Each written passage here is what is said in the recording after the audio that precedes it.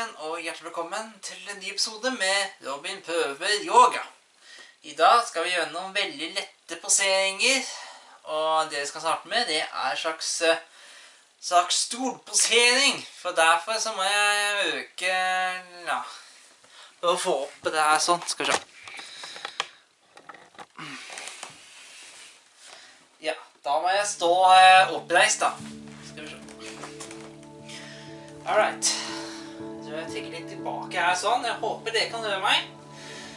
Det jeg kan gjøre, er at jeg setter her det sånn.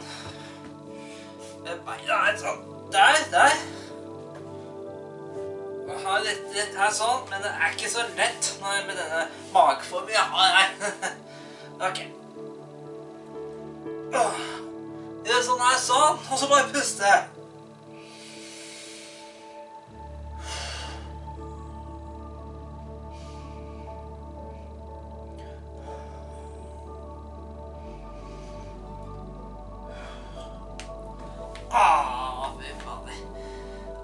Lårene mine. Det er ikke så godt veltid i hvert fall. Det var hardt.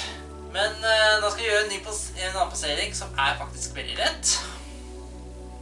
Det er en slags uh, barneposering, for å si det sånn. Skal vi se. Da får jeg bare ha yes. der. Gjør sånn at uh, knærne er langt ifra hverandre. Og så ha strake armer. Og så bare ja, Så bare få huet deres ditt ned sånn. Puste.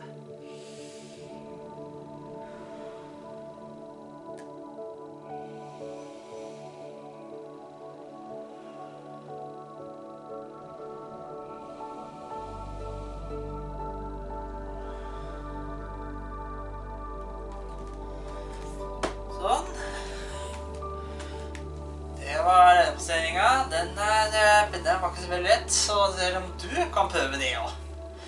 Nå går vi til siste posering. Det er noe som kalles for cobra-posering. Da må jeg få ned kam slik kameraet litt lenger ned.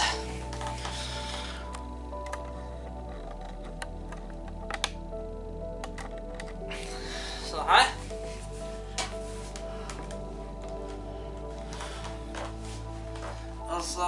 Og så bare prøve å legge ned på gulvet sånn her, med, ho med hodet ned. Og så prøve å få opp overkroppen her.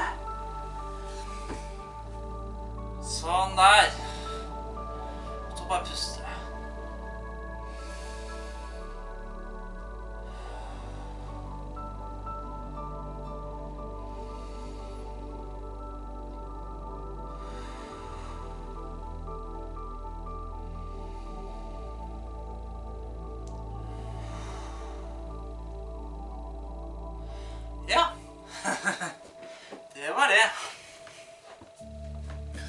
Yes, yes.